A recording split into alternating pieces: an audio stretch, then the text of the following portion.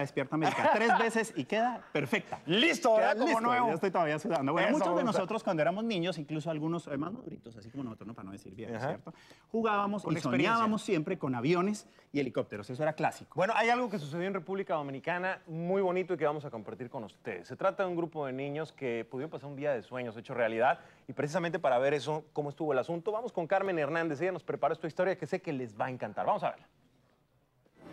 En una actividad denominada 100 años, 100 niños, la aviación dominicana celebró su aniversario. Decidimos hacer algo que en Navidad moviera los corazones de todas las personas y del sector aeronáutico.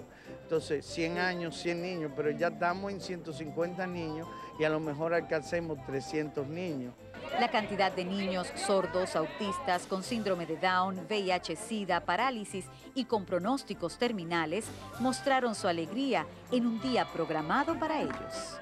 Eh, están entusiasmadísimos, algunos con un poquito de temor y de miedo, pero con una ilusión increíble. Con sus caritas pintadas, los personajes de las caricaturas, seguidos de un show aéreo de aviones tucanos y luego los paracaidistas, les crearon un ambiente cargado de exaltación. Dando es como se recibe.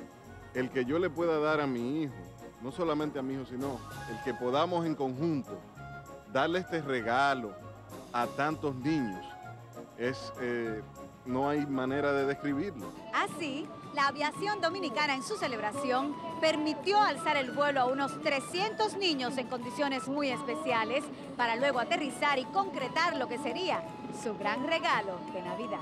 Realmente fue una gran experiencia haber, haber visto a mi hija montarse en un avión, ya que es un gusto que nadie se lo va a quitar porque ya ella se lo dio.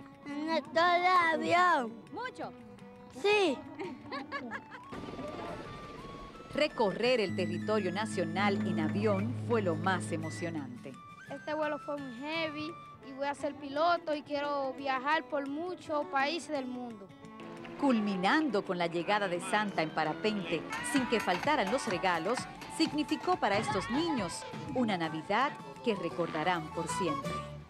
Linda historia la de Carmen, definitivamente, Poncho, si uno quiere ser alegre en. Navidad es hacer sonreír a un niño, darle un regalo y ellos en especial, que soñaban como nosotros con el helicóptero del avión y estaban en la pista, en la pista, y vieron eso muy de cerca y se llenaron de felicidad. Ay, mira, esa palabra es bonita, ¿eh? La Hoy, tenemos- hoy estamos- pega más que nunca. Hoy pega más que nunca aquí en Despierta América porque nos está acompañando Felicidad Veleira, que ella